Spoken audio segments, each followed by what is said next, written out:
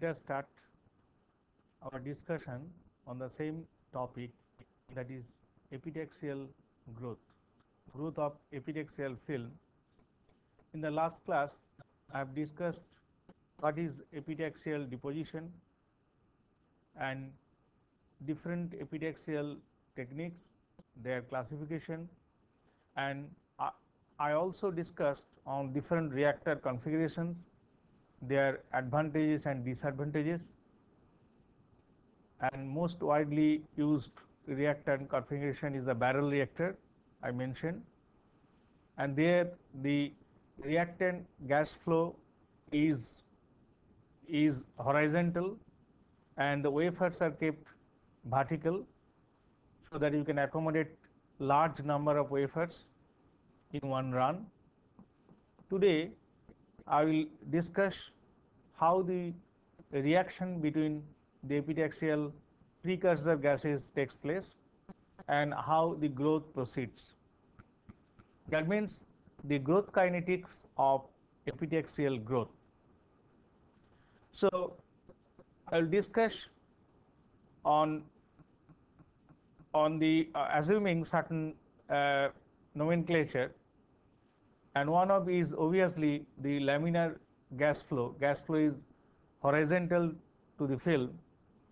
And there the reactant molecules that means if we use silicon tetrachloride or dichlorosilane SiH2Cl2 so those reactant gas gas that means that is source gas along with the dopant gas and the carrier gas. Carrier gas here is hydrogen so those gases gas flows are controlled by mass flow controller and with a certain ratio certain partial pressure we flow the gas into the reaction chamber. And what happens after entering the gas into the reaction chamber?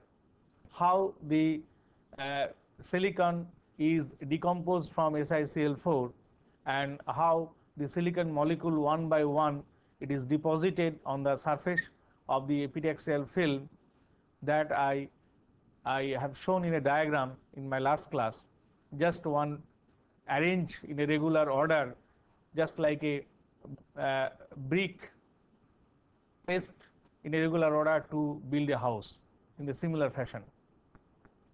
So now the reactant gases is delivered to the substrate by transport in the gas stream with a finite velocity. That means this velocity depends on how you are maintaining the flow and that is controlled by mass flow controller. Near the substrate surface, this velocity is almost 0 because of friction because just at the surface there is a friction among the gas molecules and the substrate surface and the velocity will be 0. A stagnant and boundary layer will be formed near the substrate surface through which the reactant species diffuse to reach the surface and the reaction proceeds. That is the total phenomena what is happening inside the reactor. Now, uh, how this boundary layer is formed that I shown in uh, last class in the diagram and here in the reactor uh, configuration the problem of the boundary layer and stagnant layer can be minimized by placing the susceptor at a certain angle and that already uh, I have discussed in last class how to remove the stagnant layer. And this portion is the stagnant layer. And this is the gas flow is almost horizontal in nature. And near the substrate surface here and here, here the velocity is 0 and the reactant species that means SiCl4 and hydrogen they will decompose. And those species will come uh, on the surface through diffusion in the gas flow in the in the in the layer stagnant layer. So this is the stagnant layer or boundary layer. So all the uh, species will diffuse through the stagnant layer and they will reach at the surface and then the reaction takes place.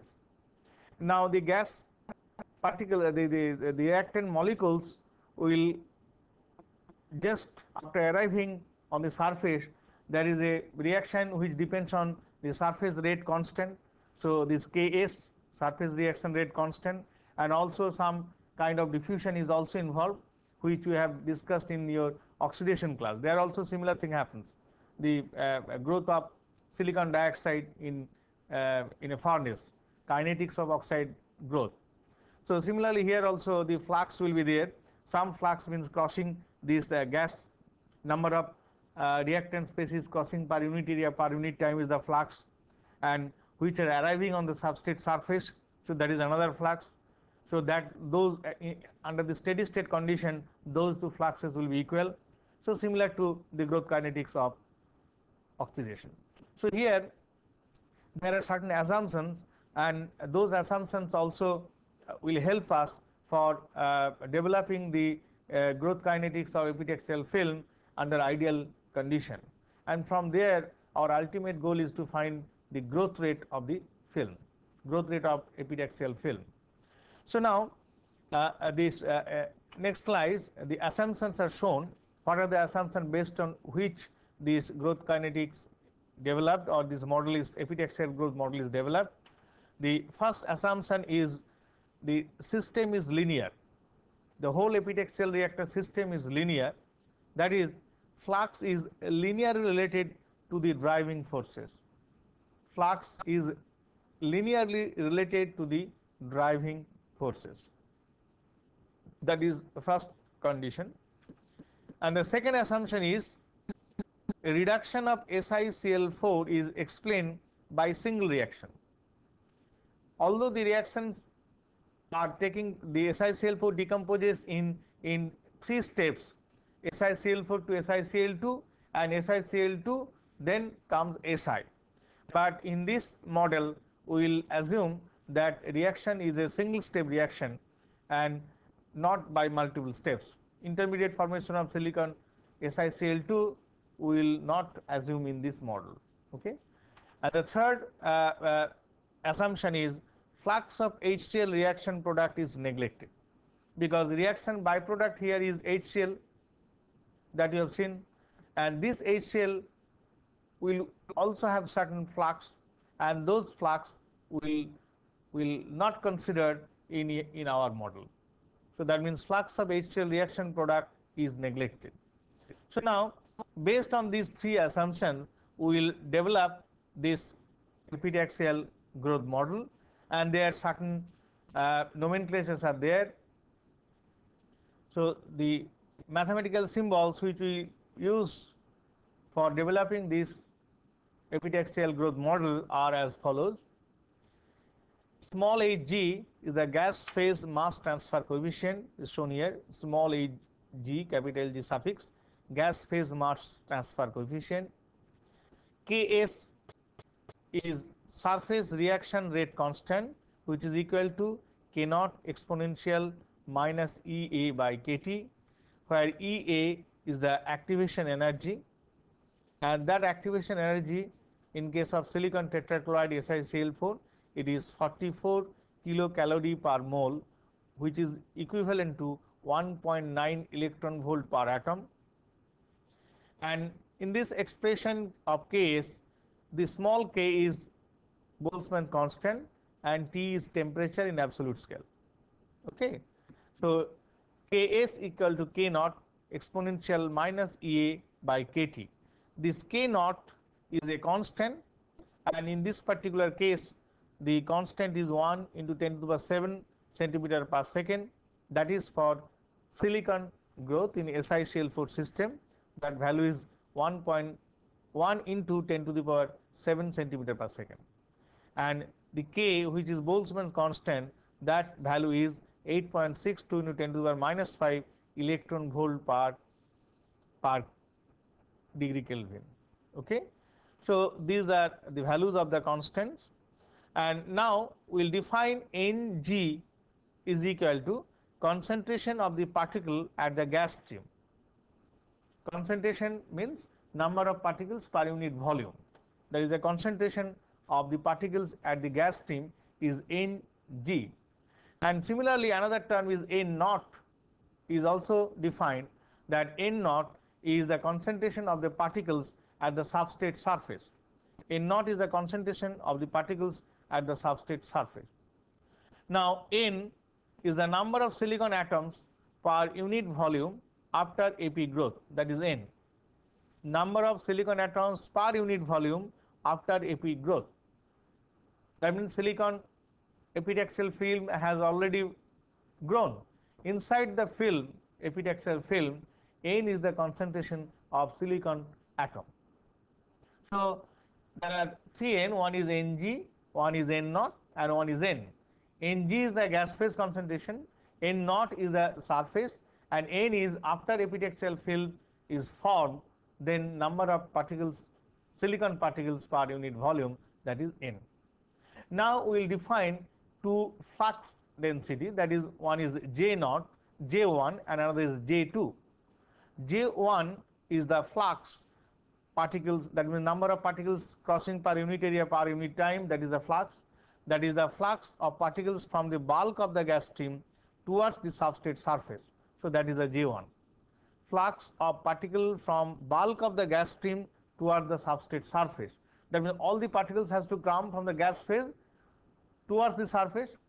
Then J2 is defined as the flux of the reactant particles consumed by the reaction. One is J1 from the gas phase onto the surface, how much it is coming, and then is the J2 J2 is the flux which is consumed, number of the reactant particles which is consumed to grow the silicon film. These are the two J1 and J2. Now, using all these definitions or notations, we will develop now the model. The growth kinetics of vapor phase epitaxy we will develop now. So, in the epitaxial growth process at low temperature the growth is limited by the surface reaction rate constant is which is Ks and at high temperature it is limited by the gas phase mass transfer coefficient Hg. Hg. That means in the low temperature the growth that means growth will initiate at low temperature by the surface reaction rate constant and at high temperature it is limited by the gas phase mass transfer coefficient Hg. So now the flux J1 which must be proportional to difference of Ng minus N naught. Ng is the concentration in gas phase and N naught is the concentration at the surface. So the difference of this concentration in Ng minus N naught and this J1 is proportional to Ng minus N naught and which is equal to J1 equal to Hg. Hg is the mass phase gas phase mass transfer coefficient Hg. So that is Hg into Ng minus N naught. So once the particles arrive on the surface, then the J2. You can define J2 the, is the flux of reaction, the number of uh, uh, particles which are taking part in the reaction that is J2 that is equal to Ks into N naught. Ks is the surface reaction rate constant and N naught is the number of particles available on the substrate surface. Okay. So, that means J2 is equal to Ks into N naught. Now, in the steady state, in the steady state, this J1 and J2 are equal and say J1 equal to J2 equal to J. So, now if I equate J1 equal to J2, then Hg into Ng minus N naught is equal to Ks N naught. Okay. So now from this equation easily you can get the value of N naught and that N naught is equal to Hg Ng divided by Hg plus Ks that we can get from this equation. Okay. Now J equal to another steady state j equal to j2 and that is equal to ks into n naught. Now we put the value of n naught in this equation, put the value of n naught in this equation, then we get j that is steady state flux is equal to this n naught comes here, this n naught value you put it here, then ks hg, then it comes ks hg divided by hg plus ks into ng. Okay. So, that is the value of J under steady state condition. So now equation 2 relates the flux to the reactant concentration in the gas stream and system parameters. So flux to the reaction reactant constant in the gas stream that is the the that is uh, decided by the uh, the that is the flux and uh, what are the uh, system parameters? System parameters is a ks and in hg these are the system parameters under certain gas flow.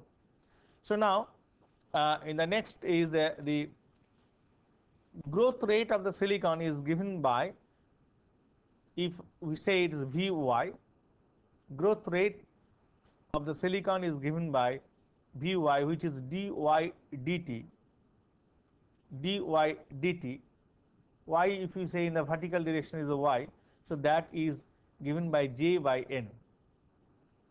j by n, n is what? Number of concentration of the particles in the film epitaxial film film after growth. That is the n and j is the j is the under steady state condition. Number of uh, uh, reactant particles consumed basically. That is the j. So that j by n is given will be uh, will be uh, equal to the the growth rate. And dimensionally also it is correct. J is number of atoms per unit area per unit time okay. And the n is equal to per unit volume number of particles per unit volume. You just dimensionalize you check and it will come the the length and uh, time inverse. Length means time inverse means that is micron per minute or the uh, you can say uh, micron per hour something like that. Dimensionally also it is coming dy dt that means length t minus 1 so now, uh, the if you uh, divide j by n, then you will get hg ks divided by hg plus ks into ng by n. So that is the growth rate. So now, very simple relation with with lot of assumptions, we can get this simplified relation of growth rate of epitaxial film. And for SiCl4 system, silicon tetrachloride system, the value of Hg is equal to 5 centimeter per second, Ng is equal to 3 into 10 to the power 19 atom per cc. One example is shown here. Ks is equal to 5.1836 at 1250 degree centigrade. Ks is surface reaction rate constant. That is a function of temperature because Ks is equal to K naught into e to the power uh, K naught into e to the power minus Ea by Kt. So now that Ks value is 5.1836 at 1250 degree centigrade. N value is the silicon atomic density that is 5 into 10 to the power 2 atom per cc. Atomic density of silicon in single crystal silicon is 5 into 10 to the power 22 atom per cc and if you put all these values into this equation we will find Vy equal to 0.916 micron per minute. Okay. So, this is the growth rate assuming these values.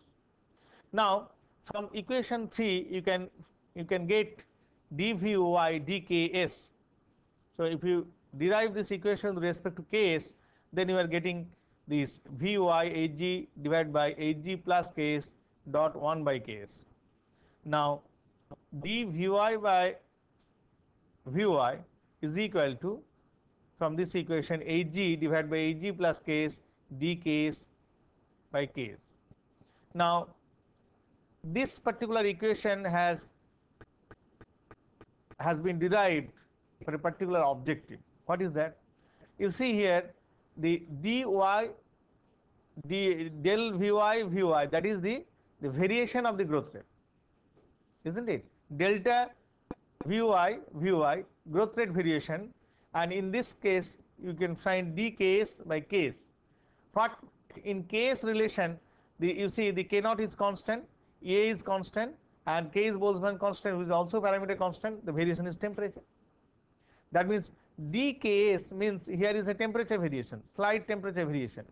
How the growth rate changes with temperature variation, how sensitive is the epitaxial growth process with temperature variation that is known from this equation that you can calculate and that is a very important parameter and you will find that even the 1 degree or 2 degree temperature variation over the substrate surface will lead to non-uniform growth, growth rate will change.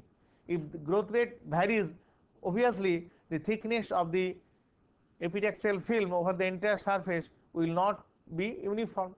It will change from one region to other region. That is why the constant temperature over uniform temperature over the entire surface or over the entire susceptor is very very important consideration in epitaxial growth process.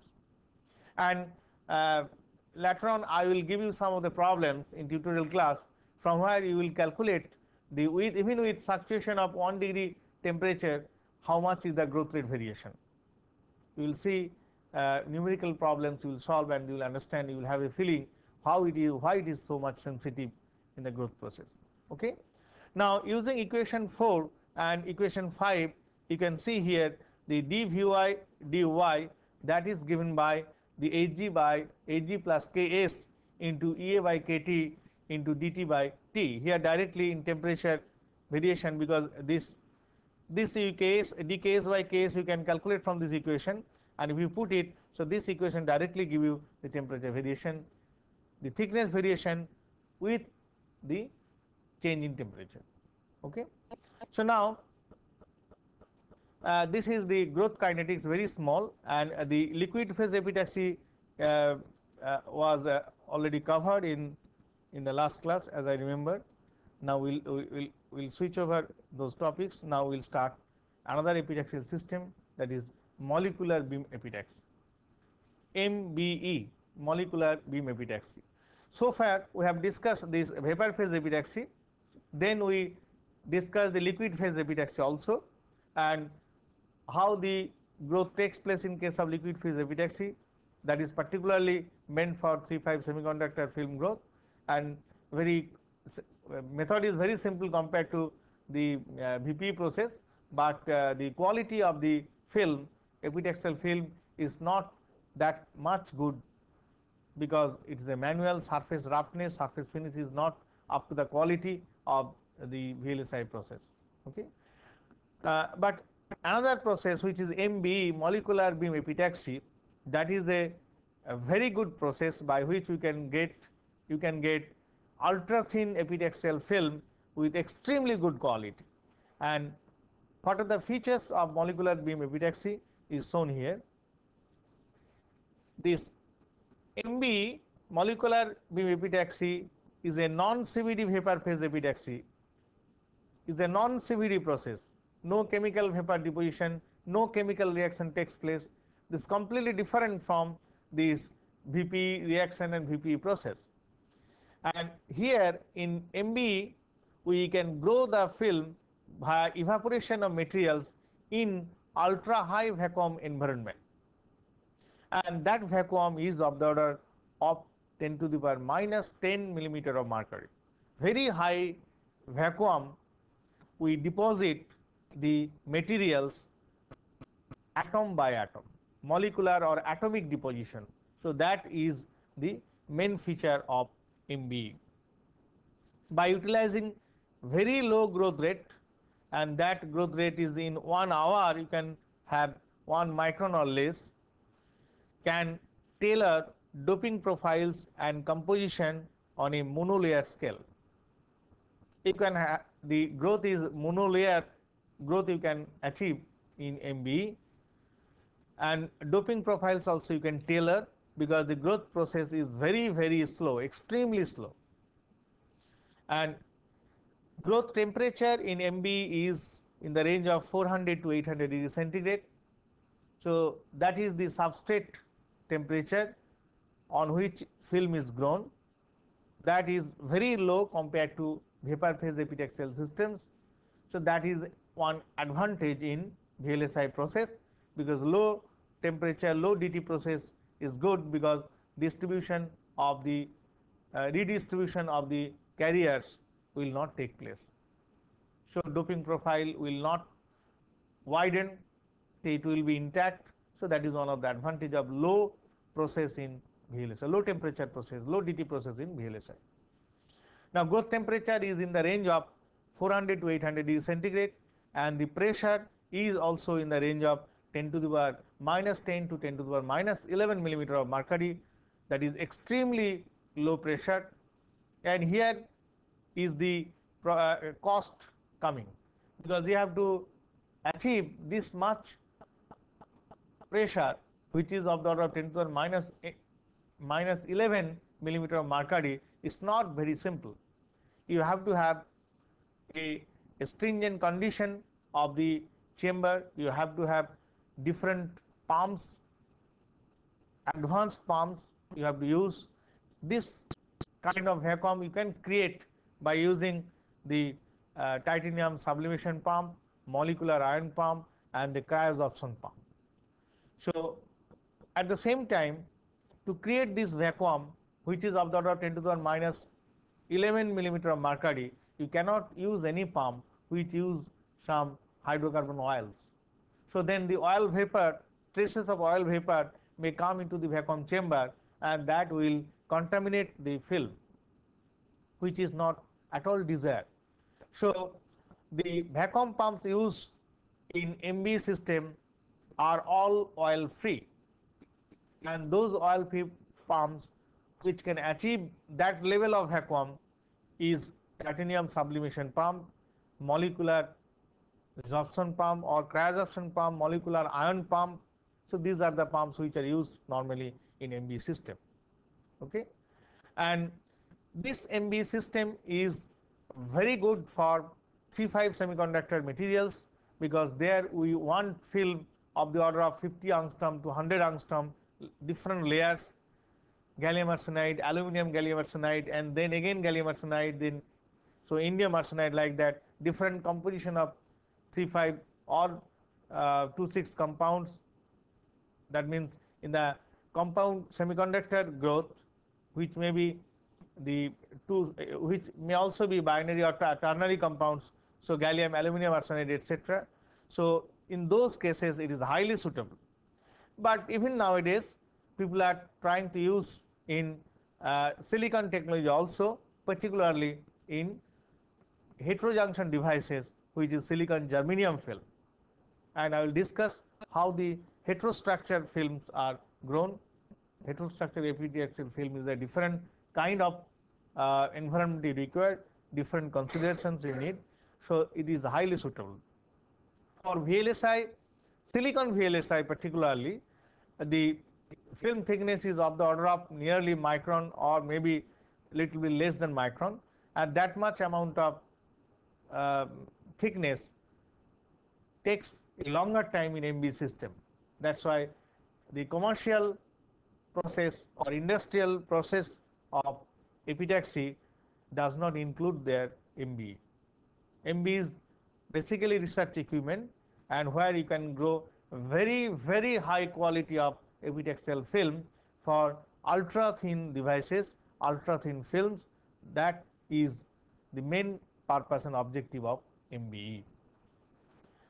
Uh, next, uh, we will see the machine design because here the machine de design will be totally different from vapor phase epitaxy because here the main technique is evaporation and source materials are evaporated from effusion cells. Effusion cells are also known as Knudsen cell, a, a, a specific chamber where the solid material is evaporated at very high temperature. That is the known that is known as effusion cell. There a heater will be there. Solid, for example, you want to evaporate the silicon or gallium arsenide. So gallium or silicon material will be inside the effusion cell. So there you have to heat it and the vapor will be created and this effusion cell will have a small orifice, small point hole and through that hole the, the vapor of that particular material will come out. I will show the effusion cell structure in the next diagram of MB schematic. Now the temperature control is very critical and is up to 1600 degree centigrade. And this temperature is not the substrate temperature. As I mentioned the MB requires the temperature of 400 to 800 degree centigrade. That is the substrate temperature where the film is grown. But where the 1600 is required that is for evaporation. In a Knudsen cell because there you have to evaporate the solid material. And that solid material is silicon or germanium or gallium or the, uh, the, uh, the uh, say P2O5 phosphorus pentoxide or arsenic oxide something like that. So, those materials have to be evaporated and for that you need very high temperature because melting points of those materials are not very low. So, that temperature means the 1500 1600 degree centigrade temperature with a very good control critical control is required because this temperature depending on the temperature the partial pressure of the pressure will also vary.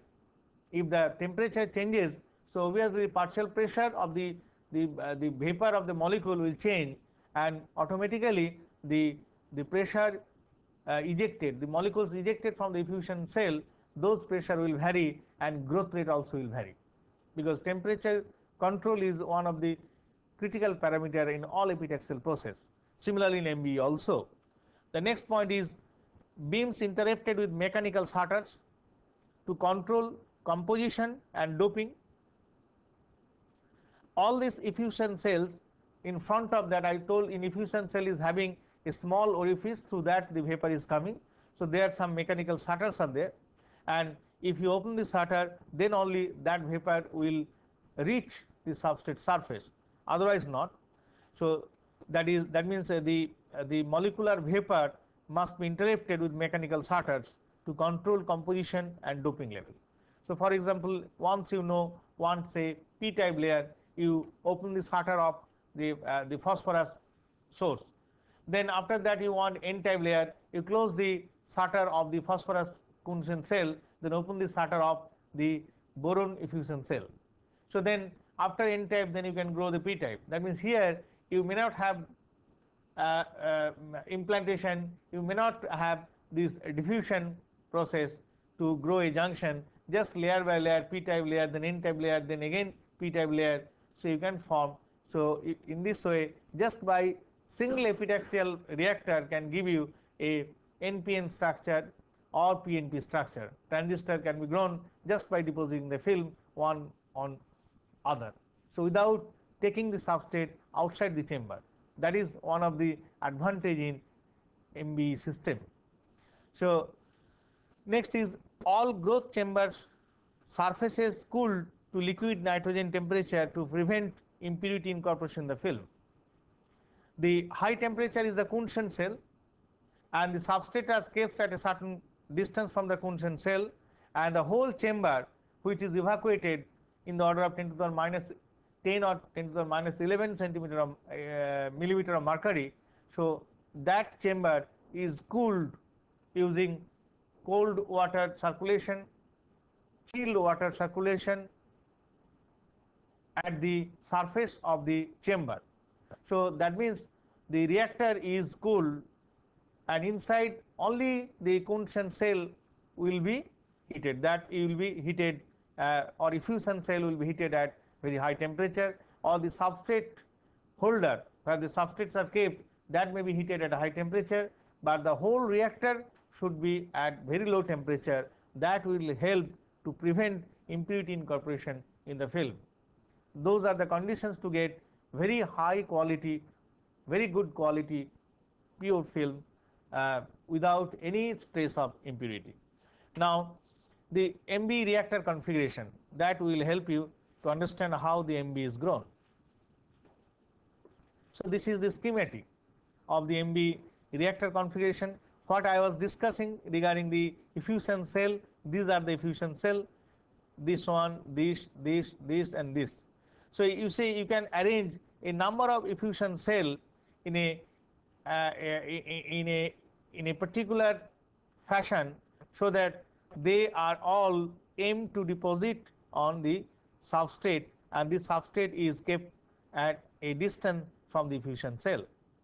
And this is the heater arrangement where the substrate holders are heated that temperature is 400 to 800 degrees centigrade and this is the substrate for example here gallium arsenide wafers wafer is kept here on which you are going you are um, uh, your aim you are going to deposit uh, the epitaxial film. And these are the mechanical shutters which I discussed in the reactor configuration. So, these are the uh, mechanical shutters this one, this one, here is one and here and here. This mechanical shutter can rotate, rotate to open and close the chamber. For example, here the shutter is closed, the orifice which is very point hole on the effusion cell just at the middle here is the orifice as I was mentioning. So, the small orifice the vapor is coming and here shutter is open. So, you see the aluminum vapor is coming here the open this is arsenic effusion cell this is a gallium effusion cell. So, that means all gallium, arsenic and aluminum the three effusion cells are, are uh, open that means shutter is open. So, the vapor will mix here aluminum, arsenic and gallium vapor with a certain stoichiometric ratio and how much ratio it will it will be deposited here that depends on the partial pressure of the fusion partial pressure of the vapor inside the effusion cell. And that partial pressure is a function of temperature. Okay? So that can be adjusted in the effusion cell with um, externally with certain changing certain parameters. So now this uh, that means the mechanical shutters will have an arrangement for rotation to open and close the the holes here. And uh, the substrate uh, heater should be there. And these are the liquid nitrogen cooled sealed. And this is one sealing which this particular zone of the furnace. That means here is a uh, heated wafer holder. So that means temperature is high here. Maybe up to 600 800 D or maybe 400 D centigrade. This side temperature is also very high. Effusion cell temperature inside is about 14 1500 D centigrade and this is the liquid nitrogen cooled seal sealing so that this side will be cool and uh, this is the vacuum chamber the whole vacuum chamber is evacuated at a vacuum of 10 to the minus 10 to 10 to the minus 11 millimeter of mercury. So, one thing if the vacuum is extremely good that means high vacuum of the order of that level. So, obviously, the vapor particles will follow here in straight line. There should not be any collision in between the molecule because here mean free path will be very large.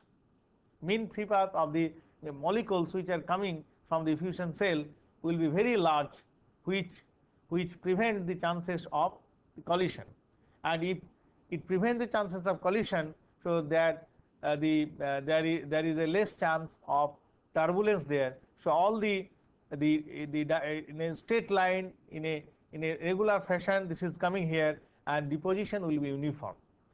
If the movement is turbulent the molecules they they experience a lot of collision before reaching the substrate surface then you cannot expect uniform growth rate of the film on the substrate surface.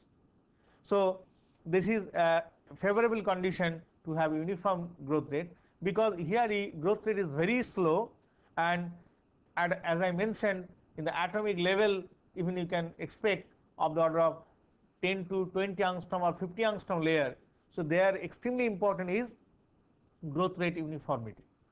Even 50 angstrom growth rate is non-uniform, so device behavior will not be good at all. Okay. So, that can be achieved by using extremely high vacuum inside the chamber. Okay. So, this is the, the schematic drawing. Actual drawing of the MB system is not so simple because you, you can imagine. So, you have to create vacuum 10 to the minus 10. So, there the pumping arrangement will not be so easy. Lot of pumps will be there connected and the, uh, the effusion cell temperature is extremely high.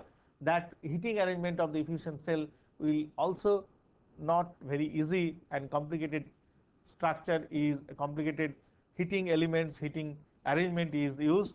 So, that will show you another uh, diagram which is shown here is the total MB system. Other, other one is schematic that is also schematic not the actual. So, actual MB system if you see so that is not very simplified machine like oxidation and diffusion furnace etc. So, here uh, different stages are there and those stages are uh, shown here. This is the deposition chamber and this part is the preparation chamber. And the wafers one by one it, it, it will enter into this a cassette arrangement. So loading arrangement is there. So the cassette entry here the wafers are stacked one by one wafer will go. So deposition will take place and after that it is taken out say another wafer you can send it and here is a sputter clean stage. So that means the wafers from the stack is brought back with a roller. This is the roller arrangement here and in inside this you can have a sputtering arrangement so that you can clean the substrates at this particular stage. And after cleaning the, the wafers is moving here and then it is fixed on the substrate holder. And this is the cryo panel which I shown in earlier the seal the liquid nitrogen seal which will uh, bring down the temperature of the chamber. And these are the Knudsen cells along with the sorters and here is the deposition process. And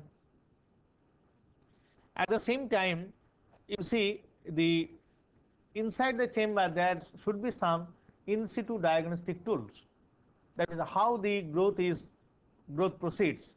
So there are some diagnostic tools mean growth rate you have to you have, you have to know. At the same time whether it is a regular crystallographic growth or some other growth pattern is obtained that you have to ensure.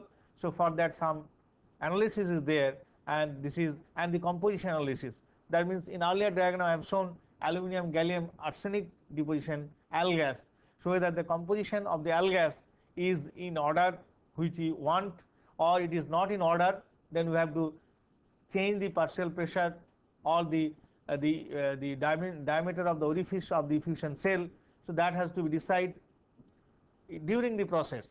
After completion of the process if I find it is not up to the mark are, are not as per our requirement then the whole process is gone isn't it? So that's why in all MB process maintain some of the in situ diagnostic tool. And one of is RHEED analysis and sometimes OJ or analysis is being done where you can analyze the film.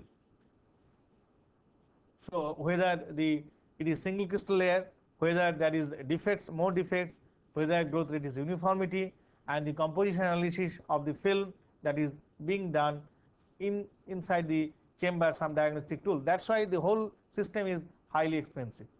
All individual diagnostics tool is not cheap one. So everything is is expensive and complicated process.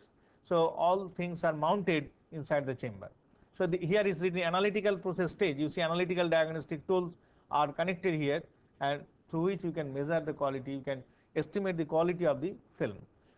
So now, now we'll uh, next uh, uh, what are the characteristics of the MB growth? So let us discuss those points.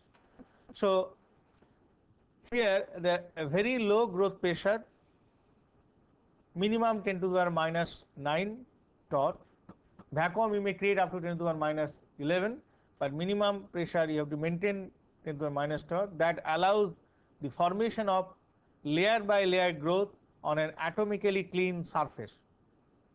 Atomic, atomically clean surface that means in situ cleaning has to be done. That's why one arrangement is shown in earlier uh, schematic diagram that is sputter cleaning. Okay. So the however whatever you clean outside the chamber Again, the whole wafer is to be cleaned inside the vacuum chamber in MB system. So that is you need atomically clean surface to grow atomic layer level of the MB film. So low growth temperature 350 to 600 degree centigrade minimizes the solid state diffusion and auto doping. This is another MB good feature. Slow growth rate 0.1 to 5 angstrom per second. This is the growth rate you can say per second. 0.1 to 5 angstrom per second permits atomically thin layer growth and better uniformity. Growth rate and the composition are determined only by the impinging species and are independent of the substrate orientation and temperature. Very, very important. Here the growth rate does not depend on the substrate orientation. In other case, it depends. Other case means VP system.